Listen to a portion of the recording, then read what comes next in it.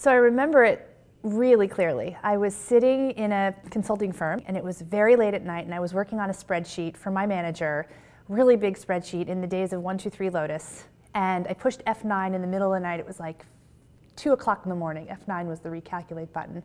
And every single um, cell went to error. And I sat back in this very late moment in the middle of the night and I said, what, what is it that I would actually like to do with my life? Like, it's not this what could it be? And I thought about, I said, what, what have I done in my life that I like? What have I really enjoyed? And all these images flew, came to me. Selling tomatoes in a little red wagon at the age of seven in my neighborhood. Making headbands and barrettes and selling them to uh, friends from school.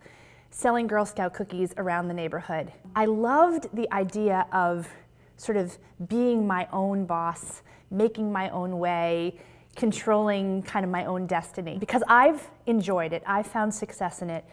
I'm, I'm always trying to get more people to recognize that this is a career path that women can do, at the same time helping them to see the challenges that we face that are a little steeper, that are a little harder, because we're still such the minority. As a woman, um, I believe that if 50% of companies were run by women, this world would be different.